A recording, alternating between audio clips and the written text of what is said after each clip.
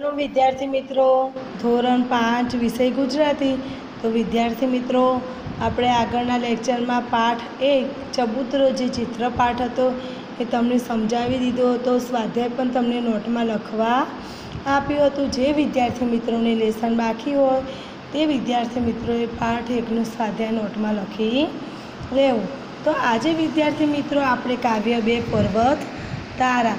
સરસ મજાનું પ્રાર્થના કાવ્ય છે. તો તેના લેખક કોણ છે? સુરેશ દલાલ.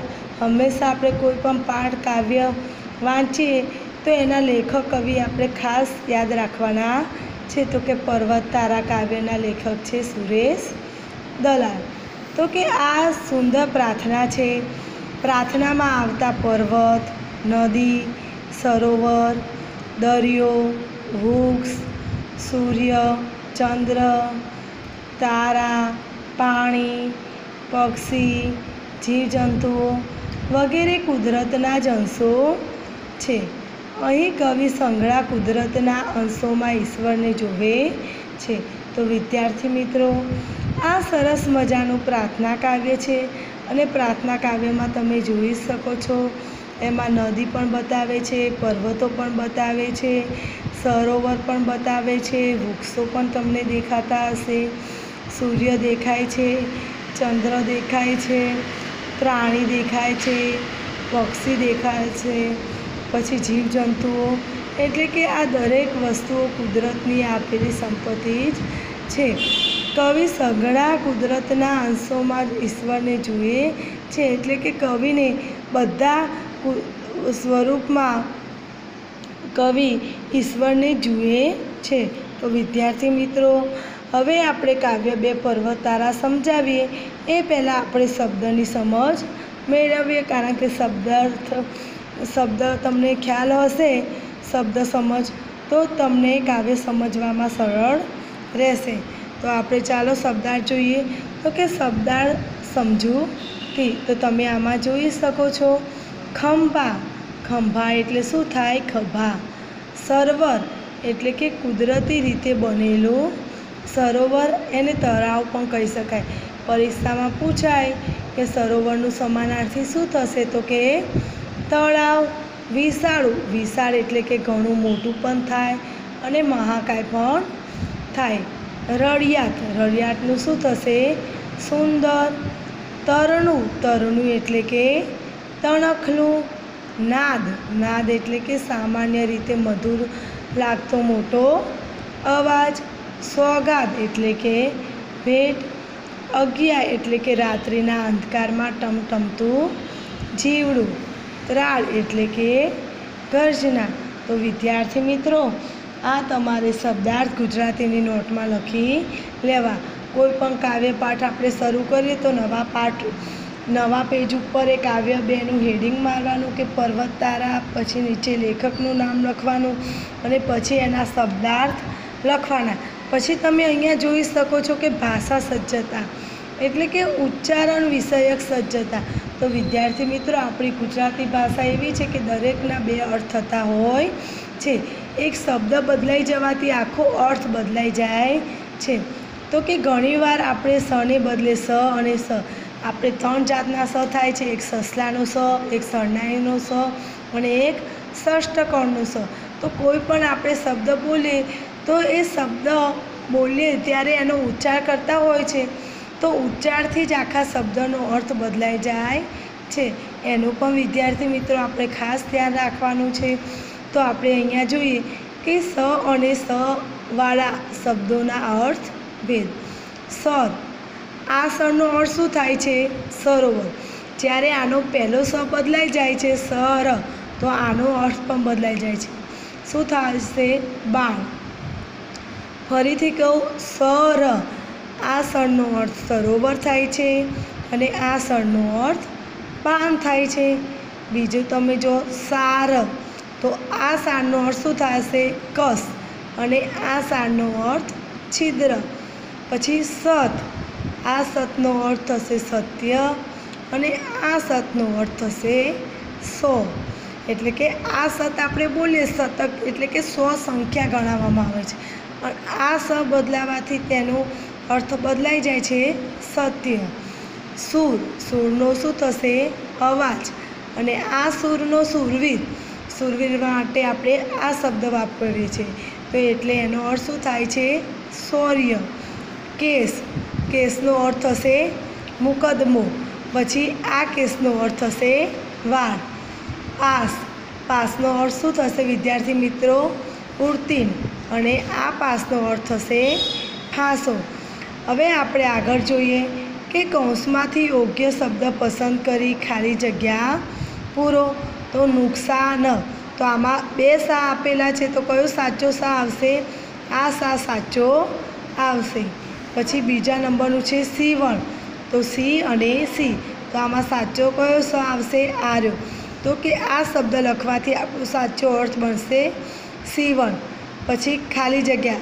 સરોવર. તો આમાં આપણે કયો શબ્દ વાપરીશું? આ સ વાપરવાથી આપણો સાચો શબ્દ બનશે સરોવર. પછી રિસેસ. તો આમાં પણ તમે કૌંસમાં જોઈ શકો છો બે સ આપેલા છે. તો આમાં આ સ વાપરવાથી આપણો રિસેસ શબ્દ સાચો બનશે. પછી સમસ્યા. તો સમસ્યામાં પણ તમે જોઈ શકો છો આ સે આપેલું છે અને આ સે આપેલું છે. તો સાચો શબ્દ કયો થશે? આસ્યા એટલે કે સમસ્યા. શિકાર. તો કે આ સ બદલવાથી આખો અર્થ બદલાઈ જાય છે. એટલે કે આપણે આ સ લખીશું તો કે આપણો શિકાર અર્થ થશે. પછી કે સાબાસી તો કે સાબાસીમાં આ સા છે અને આ સા છે. તો આપણે કે સાબાસીમાં આ સા વાપરવાથી આપણો સાચો અર્થ બનશે. પછી વિશેષ. વિશેષમાં તમે જોઈ શકો છો, આ સ વાપરવાથી આપણો વિશેષ શબ્દ સાચો બનશે. તો વિદ્યાર્થી મિત્રો, ચાલો આપણે કાવ્ય બે પર્વત તારા એ કાવ્યનું ગાન કરીશું. તો કાવ્ય આપણે પહેલાં સમજીએ અને એનું કાવ્યનું પહેલાં આપણે વાંચન કરીએ અને એનું ગાન કરીએ. કે પર્વત તારા પોળા ખંભા સરોવર તારી આંખ હું- હે ઈશ્વર, હું તને જોઉં છું. ક્યાંક ક્યાંક ને ક્યાંક પર્વત તારા પોળા ખંભા, સરવર તારી આંખ. હે ઈશ્વર, હું તને જોઉં છું. ક્યાંક ક્યાંક ને ક્યાંક દરિયો તારું દિલ વિશાળ ભૂખશો તારી વાત મેઘધનુષ્યના રંગોમાં તો રમી રહ્યો રળિયાત. દરિયો તારું, દિલ વિશાળું, વૃક્ષો તારી વાત. મેઘધનુષ્યના રંગોમાં તો રમી રહ્યો રળિયાત. તું તરણાનો તારણહાર ચરણાનો તું નાદ.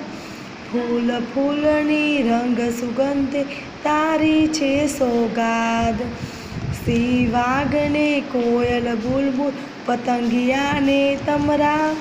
સૂર્ય ચંદ્રને તારા આવે, અહીં અગિયા ભમરા. રાડ તાડને લાડની સાથે, મોર પીંછનો સૂર. સંતા કુકડી રમતો રમતો રહે નજીક ને દૂર. અજવાળાના કાંઠા વચ્ચે અંધારાની નદી વહે, એમાં મારી હોડીને કોણ હંકારે તું જ કહે. વિદ્યાર્થી મિત્રો, આપણે આ કાવ્ય બે પાર્વતારા કાવ્યનું સરસ મજાનું વાંચન કરેલું છે. એના શબ્દાર્થ પણ આપણે સમજ્યા વિદ્યાર્થી મિત્રો. અને કાવ્યનું આપણે વાંચન કર્યું. ફરીથી વિદ્યાર્થી મિત્રો, તમારે આ કાવ્યનું બે વાર વાંચન કરવાનું છે અને કાવ્ય પણ મોઢે કરવાનું છે. તો આપણે ફરીથી આ કાવ્ય ગવડાવીશું. હે પર્વત તારા, પોળા, ખંભા, સર્વર તારી આંખ. હે ઈશ્વર, હું તને જોઉં છું. ક્યાંક ક્યાંક ને ક્યાંક. દરિયો તારું દિલ વિશાળ, વૃક્ષો તારી વાત મેઘધનુષ્યના રંગોમાં તું રમી રહ્યો રળિયાત. તું તરનાનો તારણહાર ઝરણાનો તું નાદ ફૂલ ફૂલની રંગ સુગંધ તારી છે સોગાદ. શિવાગને કોયલ બુલબુલ, પતંગિયાને તમરા. સૂર્ય ચંદ્રને તારા આપે, અહીં અગિયા ભમરા. રાડ તાડને લાડની સાથે, મોર પીંછનો સૂર. સંતા કુકડી રમતો રમતો, રહે નજીક ને દૂર. અજવાળાના કાંઠા વંચે, અંધારાની નદી વહે. એમાં મારી હોળીને કોણ હંકારે તું જ કહે? તો વિદ્યાર્થી મિત્રો, સરસ મજાનું આપણે પર્વત તારા કાવ્યનું ગાન કર્યું છે. તો દરેક વિદ્યાર્થી મિત્રોએ ગુજરાતીની નોટમાં કાવ્ય બે પર્વત તારા એ હેડિંગ મારવાનું છે, નીચે લેખકનું નામ લખવાનું, એના શબ્દાર્થ લખવાના છે, પછી આ ભાષા સજ્જતા આપેલી છે, એ લખવાનું છે, અને પછી આ કાવ્ય લખવાનું છે. હવે વિદ્યાર્થી મિત્રો, આપણે કાવ્ય સમજીએ. પર્વત, તારા પહોળા ખંભા. પર્વત, તારા પહોળા પહોળાનો અર્થ શું થશે? વિશાળ. ખંભા એટલે કે ખભા. સરોવર એટલે કે સરોવર. હે પર્વત, તારા, કવિ કહે છે કે હે ઈશ્વર, પર્વત, તારા, વિશાળ ખંભા છે. ફરીથી સમજાવું છું. પર્વત, તારા પહોળા ખંભા. હે ઈશ્વર પર્વત, તારા, પહોળા એટલે કે વિશાળ, ખંભા એટલે ખભા. હે ઈશ્વર, પર્વત, તારા, પહોળા, ખંભા છે. સર્વર, તારી આંખ. સર્વર એટલે કે સરોવર અને સરોવર તારી આંખ છે. હે ઈશ્વર, હું તને જોઉં છું ક્યાંક ક્યાંક ને ક્યાંક. એટલે કે હે હે ઈશ્વર હું તને બધી જ જગ્યાએ જોઉં છું, બધી એટલે કે સર્વત્ર જોઉં છું. દરિયો તારું, દિલ વિશાળું, વૃક્ષો તારી વાત. એટલે કે આ દરિયો તારું, દિલ વિશાળું. વિશાળ એટલે કે વિશાળ હૃદયવાળું છે. આ દરિયો તારું વિશાળ હૃદય છે. વૃક્ષો તારી વાત. એટલે કે વૃક્ષો પણ તારી જ વાત કરે છે. મેઘ ધનુષ્યના રંગોમાં તું રમી રહ્યો રળિયા. એટલે કે મેઘ ધનુષ્યના રંગોમાં તું રમી રહ્યો રળિયાત એટલો શું થશે? રળિયામનો અર્થ થશે સુંદર. એટલે કે મેઘ ધનુષ્યના રંગોમાં તું સુંદર રીતે રમી રહ્યો છે. ફરીથી આપણે આ પંક્તિ સમજાવીએ કે હે ઈશ્વર, પર્વત તારા વિશાળ ખભા છે અને સરોવર તારી આંખ છે, હું તને બધે જોઉં છું. દરિયો તારું, એટલે કે આ દરિયો તારું વિશાળ હૃદય છે અને વૃક્ષો પણ તારી જ વાત કરે છે. મેઘ ધનુષ્યના રંગોમાં તું સુંદર રીતે રમી રહ્યો છે. તું તરણાનો તારણહારો ઝરણાનો તું નાદ, એટલે કે તું તરણા તરણા એટલે કે સામાન્ય માણસ. એટલે કે અમારા જેવા સામાન્ય માણસનો તારણહારો એટલે કે ઉદ્ધાર કરનારો. એટલે કે અમારા જેવા માણસનો, એટલે કે તું તરણાનો ઉદ્ધાર કરનાર છે. ઝરણાનો તું નાદ, ઝરણાનો નાદનો અર્થ શું થશે? સંગીત. એટલે કે તું ઝરણાનું સંગીત પણ તું જ છે. ફૂલ ફૂલની રંગ સુગંધે તારી છે સોગંદ એટલે કે અહીં આ બધા જ ફૂલોના રંગો અને તેમની સુગંધ પણ તારી જ ભેટ છે. ફરીથી આપણે એ પંક્તિ સમજાવીએ. તું તરનાનો તારનારો એટલે કે તું તરનાનો તરનાનો એટલે કે આપણે માણસ, એટલે કે તું જ છે સામાન્ય માણસોનો ઉદ્ધાર પણ તું જ કરનાર છે. એટલે કે તું તરણાનો ઉદ્ધાર કરનાર છે. ઝરણાનો તું નાદ, નાદનો અર્થ થશે સંગીત. એટલે કે તું જ ઝરણાનું સંગીત છે. ફૂલ ફૂલની રંગ સુગંધે તારી છે સોગાદ એટલે કે આ બધા જ ફૂલોના રંગો અને એમની સુગંધ પણ તારી જ ભેટ છે. સોગાદનો અર્થ શું થશે? વિદ્યાર્થી મિત્રો, ભેટ. સમાનાર્થી શબ્દ પૂછાય કે સોગાદ, તો આપણે એને શું કહીશું? ભેટ. નાદનું શું થશે? અવાજ. નાદનો શું અર્થ થાય? અવાજ. એટલે કે તું તરણાનો તારણહાર છે. એટલે કે તું તરણાનો ઉદ્ધાર કરનાર છે, તારણહાર એટલે કે ઉદ્ધાર કરનાર છે. અને ઝરણાનું સંગીત પણ તું જ છે. ફૂલ ફૂલની રંગ સુગંધે તારી જ છે સોગાદ એટલે કે આ બધા ફૂલોના રંગો અને એમની સુગંધ પણ તારી જ આપેલી ભેટ છે. સિંહ વાઘ ને કોયલ, બુલબુલ પતંગિયા ને તમરા સૂર્ય ચંદ્રને તારા આભે અહીં અગિયા ભમરા. એટલે કે સિંહ, વાઘ, કોયલ, બુલબુલ, પતંગિયા, તમરા અને સૂર્ય ચંદ્રને તારા આભે. આભે એટલે કે આકાશમાં જે સૂર્ય, ચંદ્ર, તારા છે અને અગિયાર ભમરા, અહીં અગિયા ભમરા. એટલે કે આ બધા તારા સ્વરૂપો છે. ફરીથી આપણે સમજાવીએ. સિંહ વાઘને કોયલ, બુલબુલ પતંગિયાને તમરા. એટલે કે સિંહ, વાઘ, કોયલ, બુલબુલ, પતંગિયા તમરા અને આકાશમાં જે સૂર્ય, ચંદ્ર, તારા અને અગિયા ભમરા એ બધા તારા સ્વરૂપો છે. રાડ તાડ ને લાડની સાથે મોર પીંછનો સૂર. રાડનો અર્થ થશે રાડ, તાડનો અર્થ થશે અવાજ. તાડ એટલે શું થશે? અવાજ. ગર્જના. રાડ એટલે કે જોરનો અવાજ. તાડ એટલે આપણે જ્યારે જંગલમાં સિંહ ગર્જના કરતો હોય છે કે જો સિંહે મોટી તાડ કરી એટલે કે તાડનો અર્થ શું થશે? ગર્જના. તાડનો અર્થ થશે ગર્જના. એટલે કે રાડનો અર્થ થાય. અવાજ. તાડનો અર્થ થશે ગર્જના. એટલે કે રાડ, તાડ અને લાડ.